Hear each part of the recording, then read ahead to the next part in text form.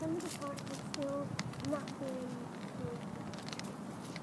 Well, that is true. This particular part isn't. But it's the roots from the trees, and they're kind of like up under the pavement.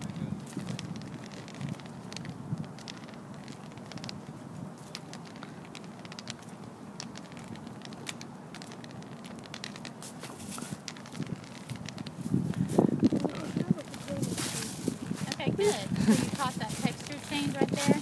Absolutely. Okay, good. And for the leaves. Yes.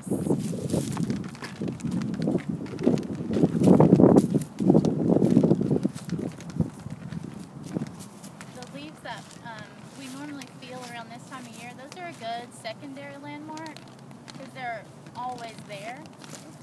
But like during the summer and the spring, they won't be there. But as for now, those are a good indication that you know kind of where you are.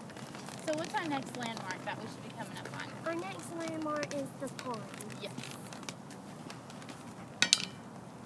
I'm gonna go right between. Go straight. Doing a good straight walk. Thank you so much. Now we're gonna face ten o'clock.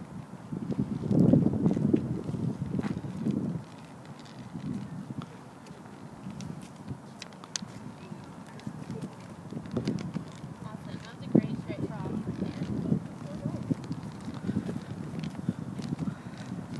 And what's your next landmark? We're gonna have three more ponds. Yes.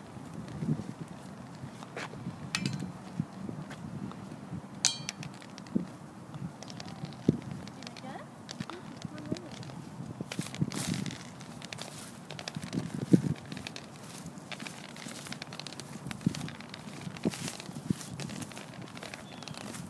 And as we walk up here, we'll have a, another landmark um, that was on your left. You recall what that is? The trash can. Yes. And now I know we normally wouldn't come into contact with that trash can on this route, but it's still good to know what's on your corners. Absolutely. Okay, so now we're going to do our first parking lot crossing. Take your time, listen for your traffic, find your curb.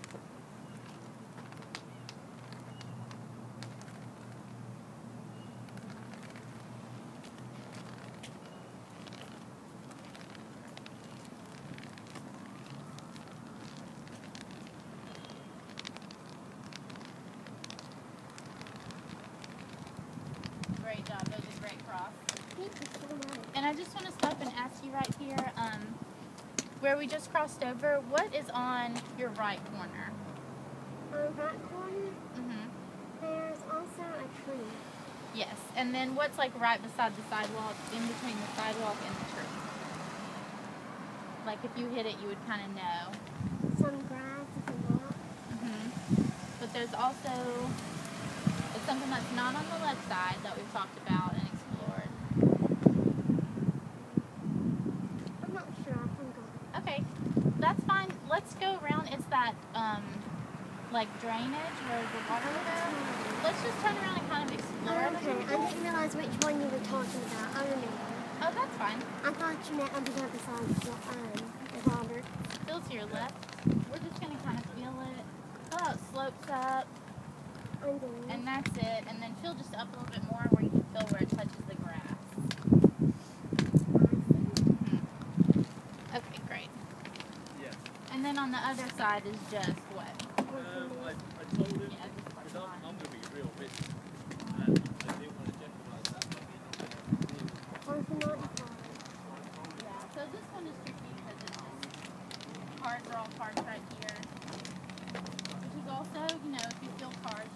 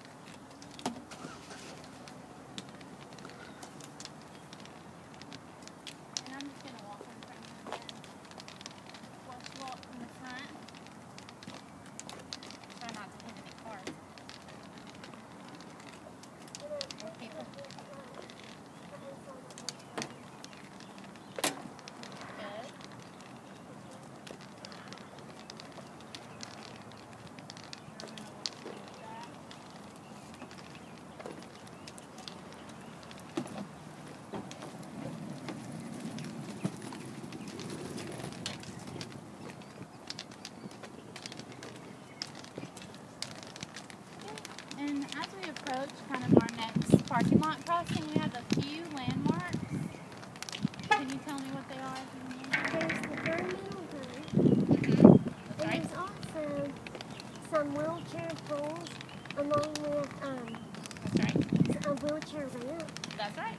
And you can also tell that there's another landmark we slope down. Yes.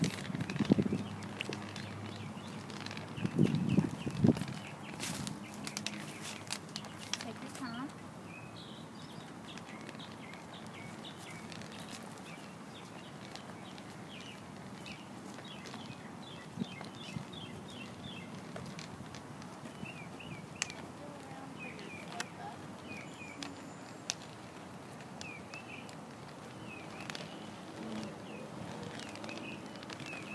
Great job. So we just veered a little bit on that. But you did a great job, like moving around everything, finding where your ramp sloped up. Thank you so much. Here's another little path, Shelby. And so where are we now? We are heading up the path to go into Morton Hall next to Wayne City. Shelby, we're at 10 minutes. Yeah, I think it's okay. Okay, we could do an inside route of Morton if you want to. Or, And somebody's got the door closed.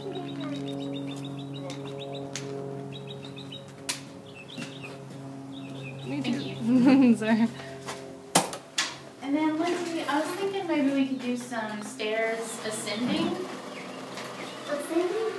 Yeah. We got it. I need to add boldness. So I'm basically just gonna teach you guys, you know. Um, Lindsay's plenty of mobility before me, so she knows how to do stairs, but we have gone over it and everything, so I'm just gonna kind of throw that in. So Lindsay, you know, like you just approach the stairs. You go ahead. So yeah, you approach the stairs, and you know you want to center yourself in the center with your toes on the step. And how you would do that, uh, the floor. And how you do that is you would your cane up, yeah, and feel over, and make sure you feel centered, Absolutely. okay? And then you want to hold your cane up in front of you, straight up, but uh, kind of at that diagonal technique. Okay, and then hold it straight up two stair steps ahead of you. And you want to make sure that the tip of your cane touches each stair step.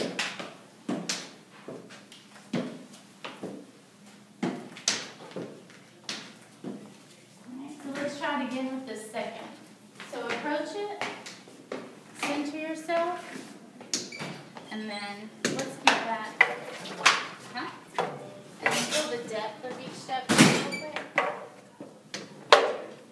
And so this is your second stair step. And I kind of want you to hold it more like, yeah, more vertical, a little diagonal. You got it.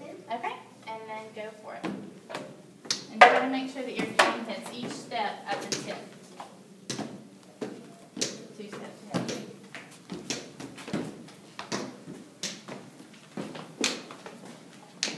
Okay, that was pretty good. Let's try it just one more time right here on these.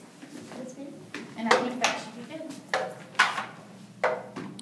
And if if y'all want to find somewhere on the second floor, you know, or third. Okay, we'll go to Dr. Duchat's.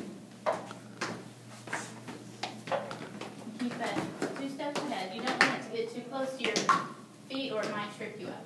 True. There you go. Alright, now we are on the third floor. And to the left is the foreign language department. And this is a table with a couple of chairs. Mm-hmm. So we want to find Dr. Nushat's office, right? Yes, Dr. Duchat's. Dr. Nushat is the forensic psychologist for um, UAH. Uh, he does statistics, also um, law and science. He does a lot of stuff with um, eyewitness testimony. You what? Also does a lot of stuff with eyewitness uh, testimony. Oh, gotcha. There's a water And, okay. Lindsay knows this hallway really well, so she knows like where all the water fountains and the fire extinguishers and everything are.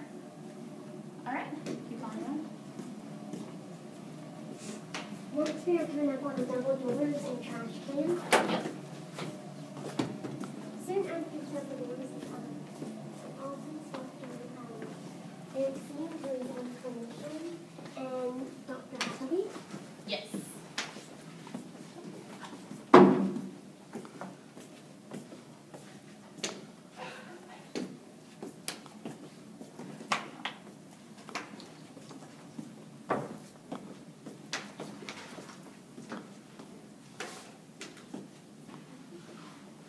Yep. If you know you've gotten here, know you've gone too far. That's right. And what is it on Dr. Nushatz's door that you know you've got to his?